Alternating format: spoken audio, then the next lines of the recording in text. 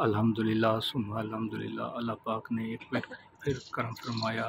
आज फिर अजान असर के बाद हमरा के दौरान रुकन यमानी के सामने नमाज़ पढ़ने को जगह मिली।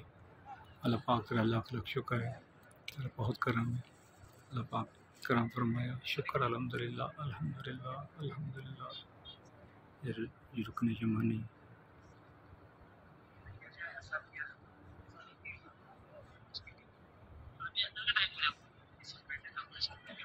नमाज़ असर का टाइम और ये गुनाहगार बंदा खाना काबा के सामने।